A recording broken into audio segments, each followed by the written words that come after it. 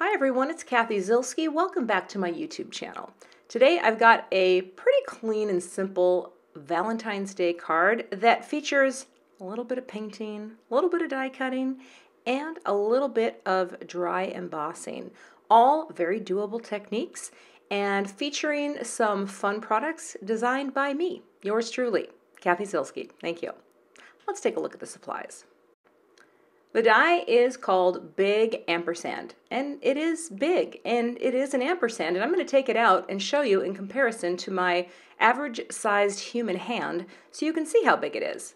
Nice and big. I think this would be fun for a home decor project or a scrapbook page as well. It's just, it's big. It's a big ampersand. Aptly named. I'm going to be using a range of distress inks today to do some painting. These are just straight up traditional Valentine's Day love colors. And I've got my water brush to paint them on. And I'm also going to be using some of my reverse sentiment strips that I designed for Simon Says Stamp. These are great if you struggle with stamping and embossing in white. They are pre-printed, you cut them apart, and you are golden. So I'll be using these for the sentiments on this card project. I've got some Tim Holtz watercolor cardstock. I really love this cardstock because it's really bright white and it's easy to use and that's good enough for me. So let's jump in and start making the card. I've got my Tonic Studios travel mat out and I wanted to show you.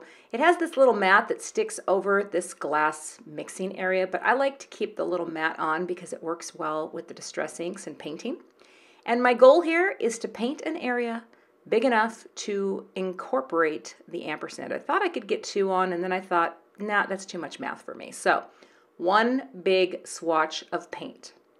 I'm going to smush down these colors into the mat, and then I'm going to just use the water brush to pick up colors and lay it down in a messy fashion. This is something that's really easy to do, and I feel like I go in phases where I forget that you can do this. I know that I forget. I forget easy techniques. And this one, my friends, is so simple for creating a simple, quick, and colorful background.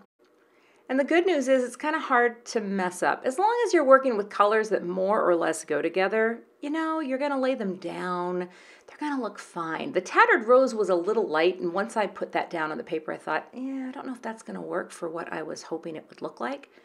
No worries, I'm just gonna keep picking up color with the water brush, laying it down. And of course, with the water brush, if you want your color to be a little softer and a little lighter, you just squeeze out a little water onto the distress ink that you've smushed down, right? And then you can pick it up and it's a little more watery and a little more transparent, if you will.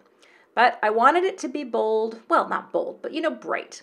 So laying it down, the colors are great and this is the process. I dried it and then I came back in and just punched it up a little bit in areas that I wanted to have a bit more color and that was that.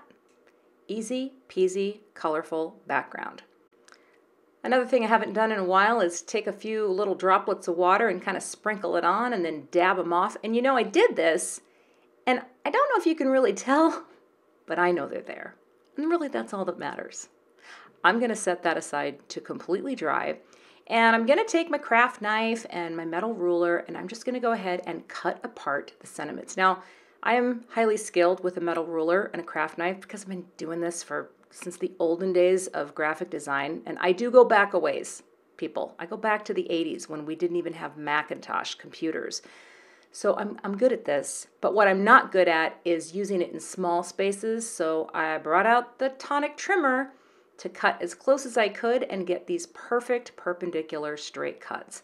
Because when I do this with the ruler, I tend to slip and slide a bit, but the Tim Holtz Tonic Guillotine, mmm, it's the greatest discovery of my crafting life. I'm just going to say it. Never knew, never knew. Highly recommend. Two thumbs up. Those look great. Now, these are printed on white cardstock, so to get rid of that white edge, I'm just going to take a Copic marker in a dark color. This is T10 and just color them in. And I have a really awkward handhold here, so I don't know if you can tell what I'm doing, but I'm coloring that edge and it gives the look of just black core cardstock. And that is what we want. At least I think that's what we want. That's what I wanted. So that's what I did. Another thing I want to show you is the craft pick is the greatest tool ever for things like this. Taking thin foam squares, picking them up, and placing them into tiny little spaces, that's like a great extension of your fingers. And I don't usually show that, but I wanted you to know. Now that this is dry, I'm going to run this through my Platinum 6 die cut machine, back and forth a few times actually to get a perfect cut. And there is my beautiful pinky watercolored ampersand. Isn't that pretty? I mean, you could use any colors to do this, but I like the pinks. While the die cut machine is out, I'm going to cut the shadow layer as well out of a piece of Neenah Solar White 110 pound cardstock, so it'll be nice and sturdy. And those will line up perfectly. Well, eventually. Now, I thought it would be fun to add some shine to my ampersand, so I grabbed this glitter dust in silver. And I'm going to spray it off camera because it kind of makes a mess. And once I sprayed it on there, it's hard to see on camera, but it really does add a beautiful shimmer. Another idea that I decided to add for this project was to dry emboss this heart stencil onto some Neenah Solar White 80 pound. Now I like to dry emboss on a lighter weight cardstock because I think it works a little bit better. But I'm getting my sandwich all lined up on the Spellbinders machine. And look at how pretty this dry emboss pattern is on this paper. Stencils, not just for stenciling. Next, I will prep my card base. And this is going to be top folding, five and a half by four and a quarter, and that is a US A2 size.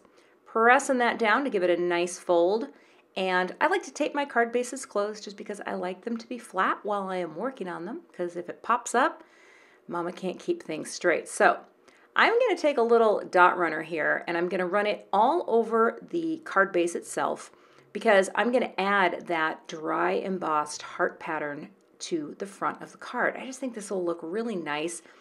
This is so simple. Use your score buddy to line things up like this quickly this has been my favorite use of the Score Buddy, aside from scoring. Just like that, my card panel is ready for the rest of the good stuff. I'm going to take some liquid glue here and just cover the back of the glittery watercolored ampersand. And once I get a good coating all over that, I'm going to drop it onto the shadow layer. And here's the beauty of the liquid adhesive. I didn't put it down in the right place at all but it gives you a little playtime to move things around and wiggle them into place and get a perfect placement on a shadow layer. Just like that. And here, I think you can see the shine a little bit. It picks up in the light, but it's really pretty in person. I've got some thin foam squares on the back of the ampersand, so I'm going to pop that up right in the center of the dry embossed panel. Kind of eyeball it, make sure it looks straight, and then press that down. And then I'll pop up the hugs and then I will pop up the kisses so both line up right on the ampersand. Super simple, I know, but I kinda, that's kind of my vibe. To finish this card project, I thought a few shiny sequins would look nice at the top and bottom, repeating in a little pattern, and that, my friends, is it. Also, Craft Pick, again, to the rescue. It's the greatest tool. It's the greatest tool in my toolbox. And that's my finished card project. You've got the dry embossing, you've got a colorful ampersand, and hopefully my recipient will appreciate the hugs and kisses I am sending. Thanks so much for watching today. I would love to have you become a subscriber to my YouTube channel. And if you do subscribe, be sure to hit the gray bell below the video so that you don't miss the next time I post. Here are a couple other videos that you might be interested in watching. Thanks so much and have a great day.